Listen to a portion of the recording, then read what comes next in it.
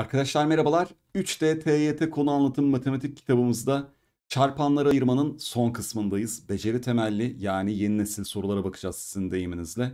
Şimdi ilk sorumuzla hemen başlayalım. Bir market sahibi almış olduğu ürünlerin cinsini, birim fiyatını ve ödediği toplam ücret dosyasını aşağıdaki gibi not etmektedir. Buna göre bu market sahibinin aldığı toplam top ve ip adedi aşağıdakilerden hangisidir? Bakalım. Şimdi bir kere arkadaşlar 2x kare artı 5x artı 2 ödenen toplam ücret. Adet fiyatı ne? x artı 2. Şimdi şuna dikkat edin. Siz bir ürünün toplam fiyatını bir adedinin fiyatına bölerseniz ne bulursunuz? Kaç tane olduğunu. Örnek 10 tane çikolata aldın 10 lira. Tanesi 2 şey pardon yanlış söyledim. E, belli sayıda çikolata aldın 10 lira. Tanesi 2 lira. 10 bölü 2 5 adet almışsın demektir. Onun gibi değil mi? Böylece böldük. Şimdi çarpanlara ayıralım burayı. 2x x. Buraya 2 buraya 1 yazsam 4x artı 1'den bak gerçekten 5x oluyor. Demek ki 2x gerçi onu niye siliyorum ki? Şöyle üste alayım. Şimdi çarparken çaprazlama yazarken düz. 2x artı 1 çarpı x artı 2 bölü x artı 2. Bunlar gitti. 2x artı 1 adet almış bak. Geliyorum aşağıya. x küp artı 8 toplam fiyat. Bir tanesinin fiyatı x kare eksi 2x artı 4. Böylece arkadaşlar x artı 2 dağıt ne diyorduk? Çarpanlara ayırmada küp fark toplamında. Toplamları sonra ayrı ayrı kareleri ve çarpımları ama önüne eksi koyuyoruz artı olduğu için. Paydada da aynısı var. Böylece gitti. Ne geldi? x artı 2. Demek ki toplam adet, toplam adet bunların da toplamı soruluyor. 2x artı 2 1 artı x artı 2'den 3x artı 3 oldu gördüğünüz gibi. Derecesi bir katsayıları tam sayı olan en az iki polinomun çarpımı biçiminde yazılabilen polinomlara zengin polinom denir. Buna göre x küp artı 4x, x kare artı 3x artı eksi 2, x küp eksi 2x kare eksi x artı 2 polinomlarından hangileri zengin polinomdur? Şimdi ne demiş bize? En az iki polinomun çarpımı şeklinde yazılacak ve e, dereceleri 1 olacak en az. Şimdi bakalım. Burada arkadaşlar x parantezini aldığım zaman x kare artı 4. Hakikaten iki polinoma ayırdım bakın. Sonra x kare artı 3x eksi 2. Burada arkadaşlar ayıramayacağız tabii ki. Çarpımları eksi 2 toplamları 3 olan tam sayımız yok. Buraya geldiğimiz zaman mevzumuz ne? Bakalım. x küp eksi 2x kare Eksi x artı 2. E burada da x kare parantezini alsak x eksi 2. Şuna eksi parantezini alsak x eksi 2. x eksi 2 parantezini alsak x kare eksi 1. Demek ki birinci ve üçüncü öncüller en az bakın ikinci derece şey en az birinci dereceden. Bu birisi bir birisi ikinci dereceden. Bu birisi bir birisi ikinci dereceden. Zaten ikisi de en az birinci dereceden çarpanlara ayrılacak şekilde polinom olarak yazılmalıydı. Cevap 1 3 oldu arkadaşlar. Geldik şimdi üçüncü soruya. Ne demiş bakın. Şekil 1'deki kare kartonun köşelerinden bir kenarı 2 santim olan kareler kesildiğinde kesilmiş karton şekil 2'de gördüğünüz gibi şu ikinci şekil. Sonra kartonun kenarları katlanarak oluşturulan dikdörtgenler prizması burada da gördüğünüz gibi şekil 3 ile gösteriliyor. Şekil 2'deki kartonun alanı A birim kare, şekil 3'teki cismin hacmi V birim küptür. V bölü A 2 bölü 3 olduğuna göre şekil 1'deki karenin bir kenarı kaç santimdir demiş. Şimdi normalde bunun bir kenarını bilmiyoruz. X diyelim. Ben buradan 2, buradan 2 kırparsam ne olur? Burası x eksi 4 olur. Sonra yine burası da x eksi 4 olur. Yani şöyle yaptığımız zaman aslında şu üçüncü şeklin tabanına da yorum yapmış oluyoruz. Bakın bunun tabanı x eksi 4 ve x eksi 4 olacak şekilde bir kare prizma oldu. Sonuçta kare prizma da bir dikdörtgenler prizmasıdır. Genel adı dikdörtgen prizması sonuçta. Bakın şimdi şu kısım ne? 2'de mi? O zaman yükseklik de burada 2 geliyor. Ona dikkat edin. Yukarı katladığımda şu kısım tabii ki ne olacak? 2 santimlik bir yükseklik. Bu kenarımız zaten x eksi 4 çünkü taban bakın. Tabandaki şu kare. Sonra e, zaten bu kenarda x eksi 4 o zaman v'yi söyleyebiliriz. Neydi bir katı cismin hacmi veya içi boş fark etmez. Ne diyorduk? Taban alanı çarpı yükseklik. Hacim bu. Alana gelelim şimdi. Alan nerenin alanı? Bu ikinci şeklin alanı. İkinci şeklin alanı nedir? tüm kareden 4 tane ne çıkarıldı? Kare çıkarıldı. Yani bir tanesinin alanı 4'tü bakın burada. Yazayım böyle. 4 tanesinin alanı 16 olacak. Ve bunların oranı arkadaşlar 2 bölü 3. Şimdi x eksi 4'ün karesi tamam. x eksi 4 çarpı x eksi 4 çarpı 2. x kare eksi 16 ne? x eksi 4 çarpı x artı 4. Böylece ikiler gitti. E, x eksi 4'ler sadeleşti. İçler dışlar yapalım artık şu kenarda. 3x eksi 12 eşittir x artı 4. 2x eşittir arkadaşlar 16. Ve x ne geldi? 8. Yani karenin bir kenarını bulduk. Çarpanları ayırma üzerine birazcık da böyle temel bilgi ÖSYM son yıllarda bu tarz sorular sorduğu için yer, yerleştirmeye çalışıyorum ben de. Çünkü matematiğin içinde hafif te, çok temel geometrik şekiller de koyarak orada matematik yorumumuzu ölçüyor arkadaşlar. Hatta daha da ileri gidelim. Bir kere ne yaptı? Belki e, geçen seneden mezuna kalanlar vardır. E, türev konusunda bunun bir de türev versiyonunu sormuştu. Şimdi evet bu soruyu da özellikle koydum arkadaşlar. Çünkü bir tane de böyle çıkmış benzer soru var. Hafif onun değişmişi sadece aslında. Fatih öğretmenin tahtaya kaldırdığı öğrencisi tahtaya çarpanları ayırma ile ilgili aşağıdaki adımları yazarak bir çalışma yapıyor. x ve y sıfırdan farklı birer gerçel sayı ve x eşittir y olmak üzere. Birinci adım her iki tarafı x ile çarpmış. İkinci adım sonra ne yapmış? Eşleniğin her iki tarafından y kare çıkarmış. Tam çarparken ve şu an eşitsizlikte yapmadığımız için çıkarırken şu an özel bir sıkıntı yok. Sonra bakın x kare eksi y kareyi x eksi y ve x artı y diye yazmış. Diğerinde y parantezinde x eksi y diye yazmış. Şimdi dikkat. Her iki tarafı x eksi y ile bölmüş. x artı y eşittir y'den bunlar gitmiş sıfır olmuş. Bir hata yok gibi görünüyor değil mi? Ama çok önemli bir hata var. x y'ye eşit. Matematikte arkadaşlar 0 çarpı x eşittir 0 çarpı y'de sıfırlar sadeleşir mi? Ve o zaman x eşittir y olur mu bakın. Bu yüzden bu çok hayati bir hata bu soru için. x eksi y'yi sadeleştiremezsin. Sebep sıfır ki o. x eksi y sıfır matematikte sıfırlar sadeleşmez. Ne yapılırdı biliyor musunuz? Doğrusu şu olacaktı. x eksi y parantezine atacaktı. Sol tarafa atacaktı bunu. x artı y eksi y diyecekti eşittir sıfır. Bu kesinlikle sıfır. Burası arkadaşlar sıfıra eşit değil diyecektik. Bu şekilde olay bu. Bunu özellikle hep söylüyorum. Matematikte aslında payların sadeleştirilmesi doğru değil. Ne zaman doğru? Sıfırdan farklı sayıları sadeleştirebilirsin. Bak bunda bir mahsuru yok. Bunu sadeleştir gönül rahatlığıyla. Ama şunu yapma. x çarpı a eşittir x çarpı b. Bunu sadeleştirme. Ne zaman sadeleştir? x sıfırdan farklı dersem. Tamam mı? Bu yüzden 3'ten 4'e geçtiğinde dördüncü adımda her iki tarafı x eksi y ile bölmesi sıfırlar matematikte sadeleşmeyeceği için yanlış. Cevap yani 4 geldi arkadaşlar. Dediğim bunu yapmalıydı. Bunu yapsaydı evet doğruydu. Hemen size bir örnek vereyim bakın. İlkokulda kandırırlar ya bazen öğretmenler için size de yaptılar mı? 2 eksi 2 eşittir 3 eksi 3 der. Veya ortaokulda. 2 parantezini alıyorum 1 eksi 1. 3 parantezini alıyorum 1 eksi 1. Şimdi sadeleştiriyorum. A 2 eşittir 3 çıktı. İşte bu muhabbet buradan geliyor. Niye?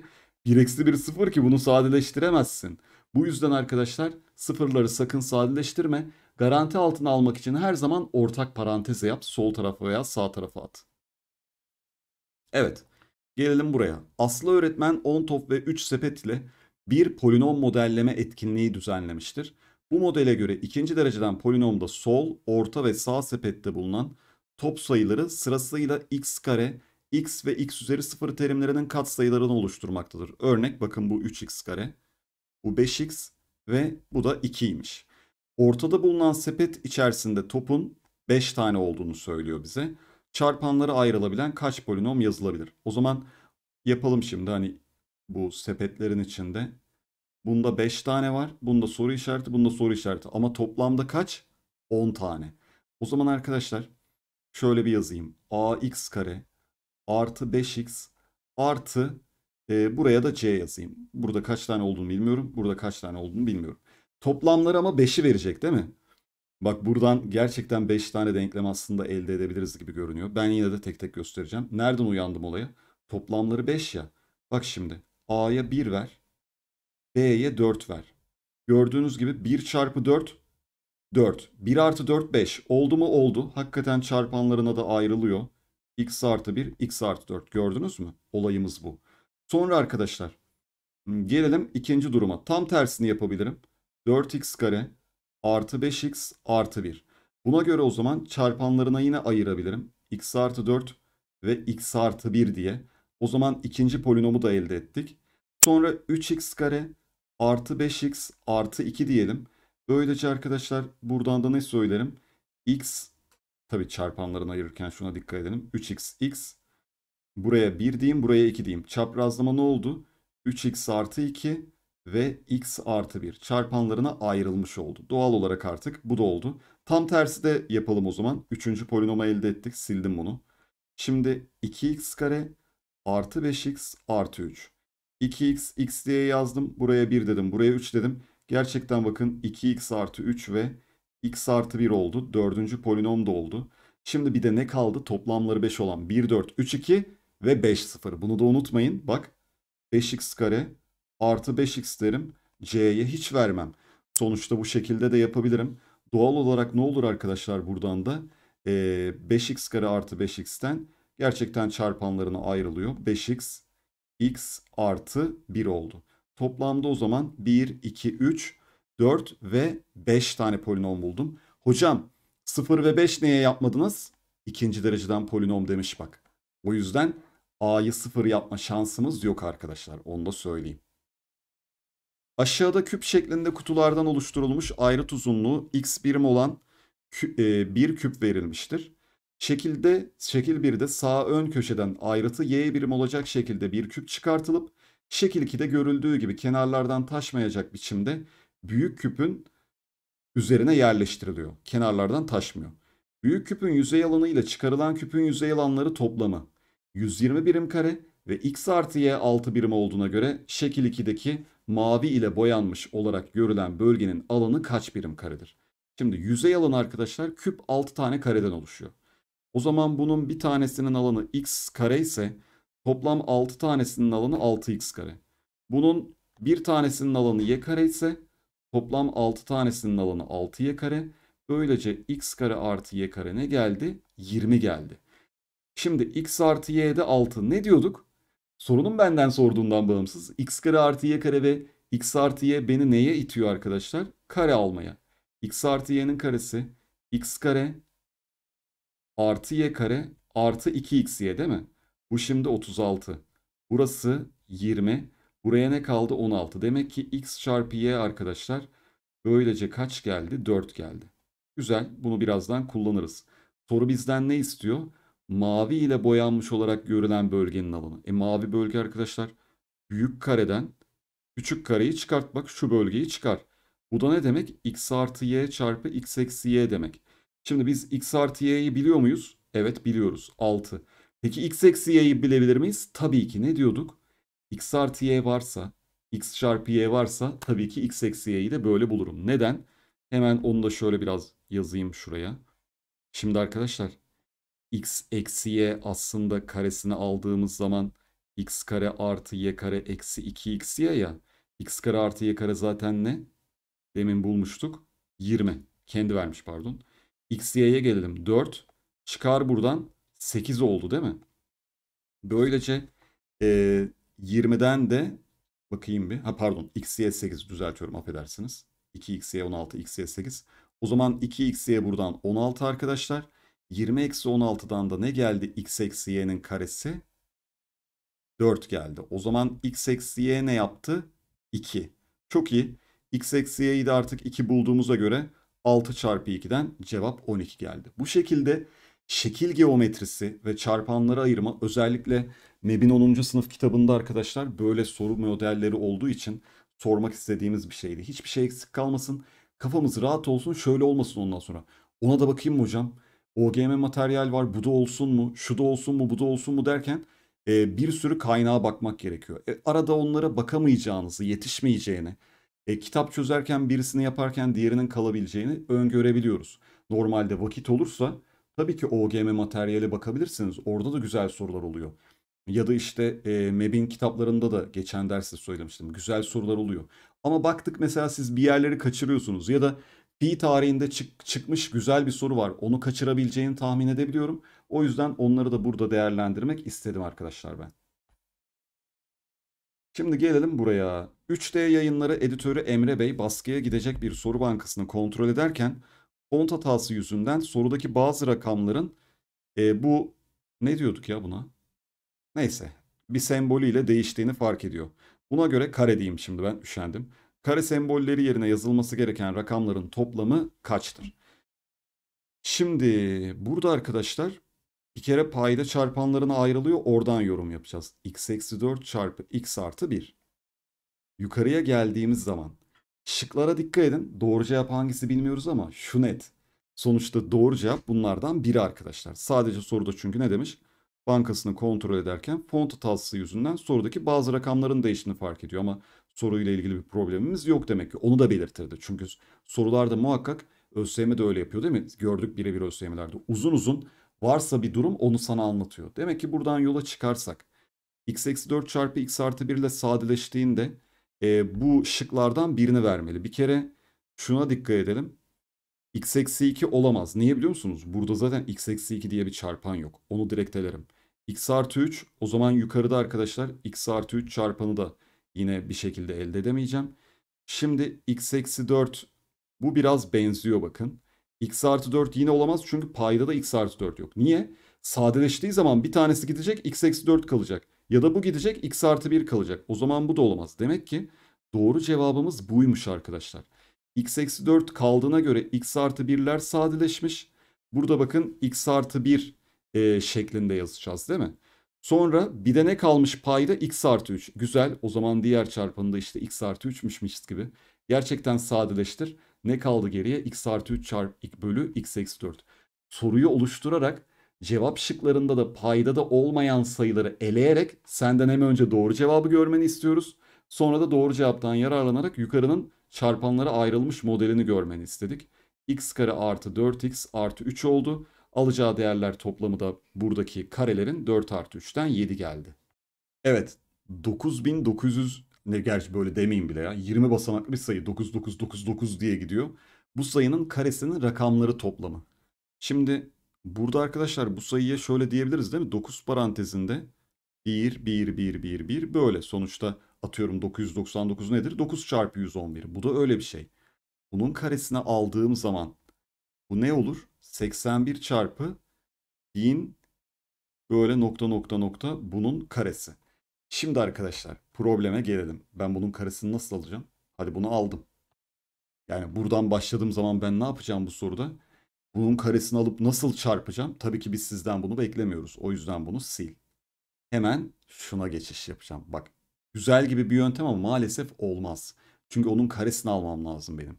Ama şöyle yaparsam 20 basamaklı bir sayı olduğuna göre bu sayı arkadaşlar 10 üzeri 20 eksi 1'dir. Nasıl bunu düşünebilirsiniz? En basit 99'dan düşün. 2 basamaklı. Bu 10 üzeri 2 eksi 1. 999.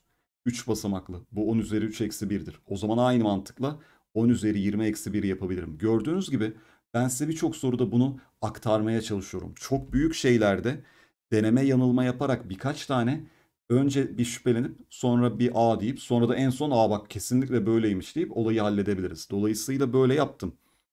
Şimdi bunun karesini alalım. Birincinin karesi 10 üzeri 40. Birinci ile ikincinin çarpımının iki katı 2 çarpı 10 üzeri 20.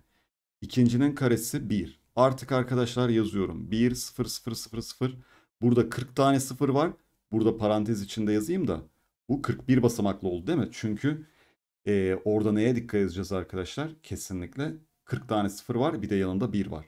Sonra 10 üzeri 20 ile 2'yi çarparsam o da ne olacaktır arkadaşlar? Atıyorum 2 ile 1000'i çarpsam 2000 olur. İşte 2 ile 1 milyonu çarpsam 2 milyon olur. O zaman bu sayıda e, şöyle yapalım. Bu kaç basamaklı olacak? 21. Neden? 10 üzeri 20 neydi? Demin söylediğim gibi 20 sıfır var. Bir de yanında 1 var. Toplam 21 basamak. Burada o zaman 0, 0, 0. Bir yerde arkadaşlar bu 2 olacak. Buralar yine böyle nokta nokta 0 olmaya devam edecek ve 1. Bunların hepsini toplayalım şimdi. Bir kere son basamağımız o zaman 1 geldi. Buralar 0 0 0 0 nokta nokta 0. Burası 2 oldu arkadaşlar. Değil mi? Aa çıkaracakmışız pardon. Düzelteyim. O zaman 10'dan 2 çıktı 8 oldu.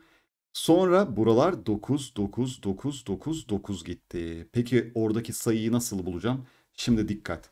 Bu arkadaşlar kaç basamaklı? 21 basamaklı değil mi? Takip edin beni. Burada kaç tane sıfır var? 20 tane. O zaman arkadaşlar buraya kadar 19 tane sıfır var. Bir tane de burada 1 var. Böyle 1.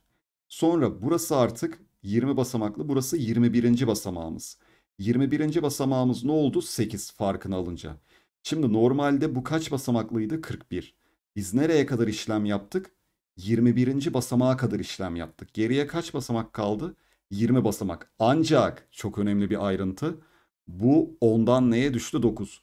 Bir basamak azaldı. Yani normalde burası 20 basamakken buradaki 9'lar kaça düştü? 19 basamağa düştü. 19 çarpı 9 artı 8 artı 1 oldu. Buradan da arkadaşlar 20 çarpı 9 geldi. Yani 180. Niye 20 çarpı 9 dedim? 8 artı 1 9 ya. 19 tane 9 bir tane 9 20 çarpı 9'dan 180 oldu arkadaşlar. Bu şekilde gerçekten güzel bir soruydu bu da. Diyelim soruyu böyle biraz sıkıntılı e, anlıyorsunuz. Hemen ufak deneme yap. Mesela hocam burada hemen siz onun nasıl 20 basamak olduğunu anladınız. Normalde düşünebilirsiniz ama o an düşünemezseniz hemen ufak bir deneme yap bak. Mesela bu sayıdan 20'yi çıkar. Anlayacaksın. Buraya kadar problem yok. Çıkardık zaten ne dedik? 0 işte 8. Bundan sonra normalde burada 3 basamak var. Ama burada bir e, ondalık aldığımız için 9 9 bak basamak sayısı biraz azaldı. O yüzden normalde burada 20 basamaktı. 9'a düşünce bu yüzden 19 basamak demiştim. Geldik buraya. 10m eşittir eksi 9'u olduğuna göre bu sayı kaça eşittir demiş. Yine güzel bir soru. Bu meraklı sınavlarda gerçekten bizi geliştirecek enteresan sorular var arkadaşlar. Şimdi burada e, yine ne düşünebiliriz? Bir bakacağız tabii ki. m artı 1, m kare eksi 1, m üzeri 4 artı 1. Ben biraz böyle şey diyorum bunlar, bunlara. Domino taşını böyle vurursunuz pat pat pat pat hepsini etkiler ya. İşte hatta sonra bunları trigonometride bile kullanacağız bu soru modelini. Bunu m eksi 1 ile çarp. m eksi 1'e böl. Niye biliyor musunuz? m artı 1, m kare artı 1, m üzeri 4 artı 1. Sanki bak o kare iki kare farkına çok uyuyor. Şimdi dikkat et. m eksi 1 ile m artı 1'i çarpınca m kare eksi 1 oldu gördünüz mü? Bunları çarptım tamam. m kare eksi 1 ile m kare artı 1'i çarpınca m üzeri 4 eksi 1 oldu. m üzeri bunlar gitti tamam. m üzeri 4 eksi 1 ile m üzeri 4 artı 1'i çarptım. m üzeri 8 eksi 1 oldu. Demek ki bak hakikaten böyle pat pat pat pat birbirine etkiledi. Yukarısı m üzeri 8 eksi 1 oldu. Bir de çarpan 19 var. Payda da tabii sonuçta m eksi 1 diye bir sayı olmadığı için çarpıp geri böldüm. Sonra payda eşitleyelim m eksi 1 ile. Artı 10m üzeri 9 eksi 10m üzeri 8. m eksi 1 ile şu kısmı payda eşitledim tamam mı? Şimdi 19m üzeri 8 artı 10m üzeri 9 eksi 10m üzeri 8 bölü m eksi 1. Güzel. Burada ha bir de şunu dağıttığımız zaman 19'u unutmayalım. 19 da en son burada dursun. Şimdi arkadaşlar burada 10m artı 9 0 değil mi? Bakın olaya. Burada 19m üzeri 8'den 10m üzeri 8'i çıkarırsak ne kalıyor geriye? O 9m üzeri 8. Sonra 10m üzeri 9 var. Bir de burada artı 19 var. m eksi 1 var. Şimdi burayı m üzeri 8 parantezine al. m üzeri 8. Şu ne kaldı o zaman orada? 10m artı 9. Böylece artı 19 burada duruyor. m eksi 1 burada duruyor. Dikkat et 10m artı 9 neydi? 0. 0 ile m üzeri 8'in çarpımı ne? 0. Cevap ne geldi? 19 bölü m eksi 1. Peki m'yi nereden bulacağım? E orada artık özel bir şey düşünmeye gerek yok. 10m artı 9 0 hatta 10m eksi 9. m arkadaşlar eksi 9 bölü 10. Yazalım yerine. 19 eksi 9 bölü 10 payda eşitle eksi 10 bölü 10. 19 eksi 19 bölü 10'dan bunlar sadeleşti. Cevabımız eksi 10 gelmiş oldu. Bu şekilde bakın bu da sağlam bir çarpanlara ayırma. Bunları her ders böyle sonlara ekliyoruz ki biraz ufkumuz açılsın, işlem yapma becerimiz artsın. e, diyorum ya hep e, zekalarınıza güveniyorum ve onları geliştirmek lazım. Bu şekilde e, sorularla geliştirmeye çalışıyoruz. Bu şekilde arkadaşlar olayı bitirmiş olduk. Çarpanlara ayırmayı vallahi bitirdik. Çok güzel. Şaka maka bir 17 falan bölüm ilerledik değil mi kitabınızda? Yarısına yaklaştık arkadaşlar. Konu olarak en azından bölüm olarak. Ama bundan sonrasında e, nereye geldik artık? Problemlere. Ben orantıyı da problemlerin içinde sayıyorum. Çok güzel bir yerdeyiz. Çok önemli bir yerdeyiz. Belki aslında bildiğinizi zannettiğiniz ama birçok noktada Allah Allah ben hiç böyle düşünmüyordum dediğiniz yerlere geldik arkadaşlar. Oran orantı bir de benden hep istiyordunuz ya oran orantı hocam kanalda anlatacak mısınız diye. İşte bu kitap vesilesiyle çok şükür ona da girmiş olduk. Oran orantıdan başlayacağız artık problemlerin sonundan ne zaman çıkarsak arkadaşlar. Gerçekten burada da yine çok iyi sorularla uğraşacağız. Özellikle yapabilirsem bazı sorularda o imkan var. Çıkmış soruları da birkaç yolla çözeceğim arkadaşlar. Çünkü bir deneyerek yapıyorsunuz bazen. Bir sayı yap- vererek yapıyorsunuz. Bazen de ne olduğunu anlamadan hocam yaptım diyorsunuz. İşte onların hepsini bertaraf etmek adına güzel güzel denklemler kurarak. Çünkü ÖSYM bizden problemleri çözmemizi isterken denklem kurmamızı bekliyor. Bazen de çok uzun bir metin verip iki işlemli soruyu bitirmemizi istiyor. Tam da bu sorulara değindik zaten. Bu metotları göstereceğimiz sorulara değindik. Oralarda görüşeceğiz. İyi çalışmalar.